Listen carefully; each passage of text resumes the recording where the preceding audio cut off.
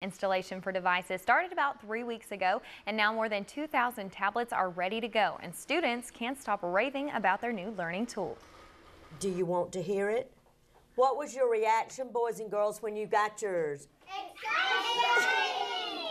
2,300 tablets are now ready for classroom use, giving students a whole new perspective on learning. It's fun to look forward to because cause, um, you get to play on a tablet and plus school is actually fun.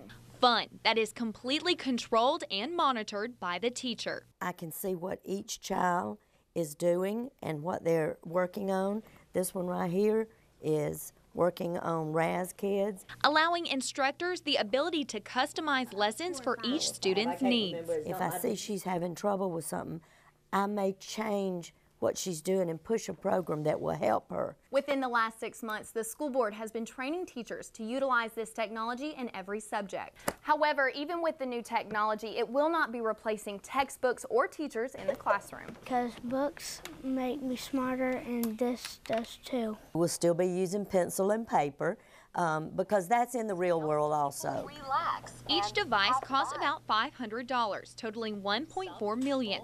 The school board plans to pay this back with the help of grant funding. Are you going to take care of this? Yes, ma'am. Why? They spend a lot of money to get it for all of us.